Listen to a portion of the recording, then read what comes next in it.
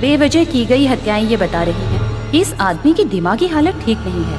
और दूसरी बात ये कि ये बेहद खतरनाक आदमी है, क्योंकि इसके अंदर डर नाम की चीज़ है ही नहीं।